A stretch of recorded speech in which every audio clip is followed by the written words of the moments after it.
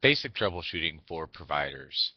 Now every once in a while something goes wrong and well we're not immune.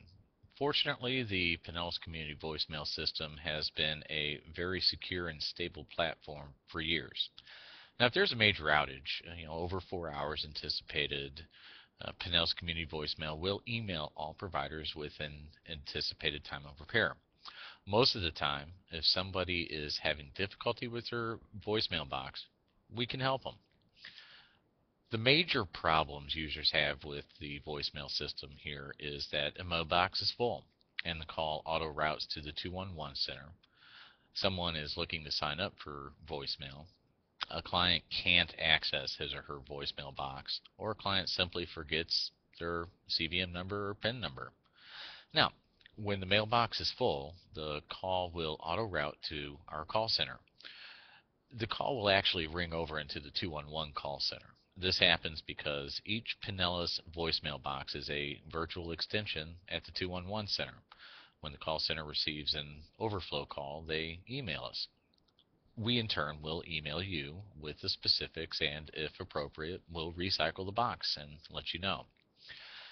Now, if somebody needs to sign up for community voicemail, um, you guys may get calls from folks, but they're not in your area feel free to refer them to any WorkNet Pinellas Center, except for the one in Tarpon, or simply contact 211. Now, since you are a community voicemail provider, your agency will be listed in our database as a community voicemail provider. And as such, you can expect people to specifically request CVM as they would any other service. Now, a client, when they cannot access their voicemail box, there's one of two things. Yeah, the system could be broken, or it could be a simple training issue. It's important to ask just a few quick questions to ascertain which one it is. You can simply ask the client what happens when you enter your four-digit PIN number. And they're going to say, I don't know. I can't get that far. It's a training issue. Or is going to say the password that you've entered is not valid. Please try again.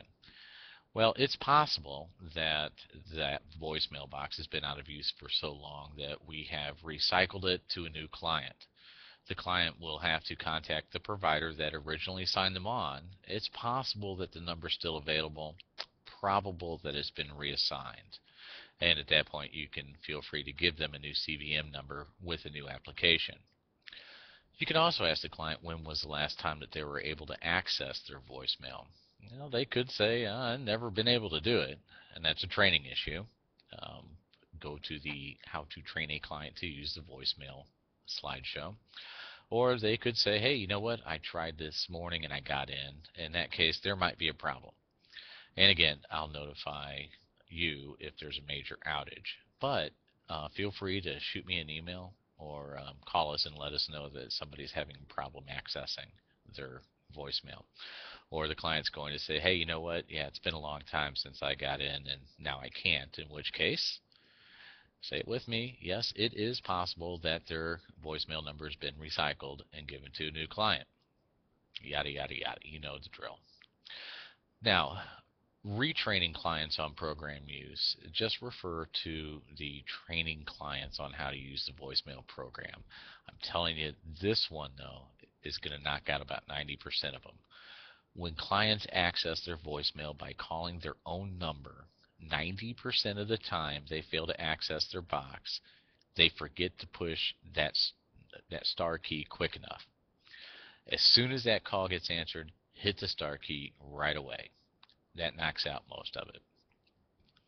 And that's it.